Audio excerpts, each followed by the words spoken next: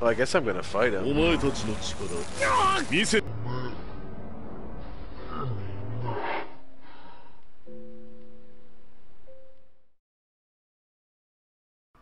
What's up guys, it's Chris P44S and I fought this dude Zemrode the other night and he killed me a couple of times. So I just he was like the first really hard boss in this game, so I just kind of wanted to go over my tactics and my strategy to how I beat him. So even though you can see like this video isn't very long, it felt like I was fighting him for a super long time. The biggest problem fighting this boss is like number one, you can't see his health.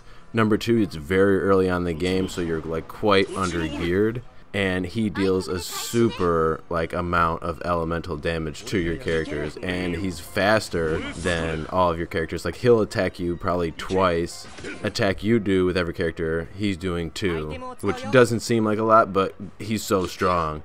So like my biggest piece of advice in this fight is just be healing constantly. Like anytime somebody is lower than 70 HP or has half their HP, just use a small potion at least. Like your characters won't have that much P HP at this time unless you've been grinding like your ass off. But aside from that, just keep attacking. And he has a, like a really high evasion rating, so I was missing with a lot of my skills. But just keep busting away, and you should be able to beat him. Like I said, he kicked my ass the first time. I really wasn't even ready for the fight. Like I was talking to somebody on my stream, and I was like, "Oh, I'm about to fight." Like, okay, whatever. And this dude came out, and he's just dealing crazy amounts of elemental damage, and I'm like, "Okay, okay." And I like, I was just so lost in what was going on that he, he just he just crushed me. But you can see um, I'm in at this part in the fight too. Like I think I'm like halfway through or not even. Like I really didn't even feel like I was that deep into the fight.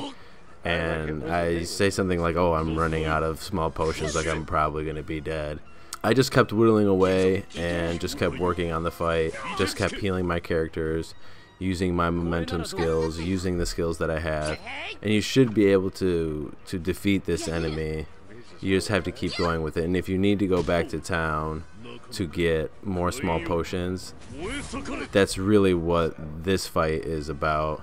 And in my opinion, this is the first difficult fight. But that's going to be it for this video. So use potions and just keep rocking him. Pretty simple, really. I don't know. I thought it was video worthy, but if it's not, just dislike.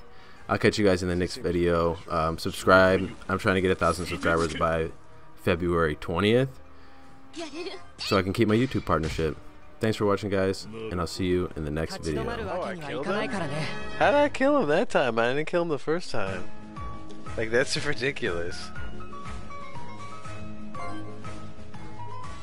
Like, the first time I was whomping on him.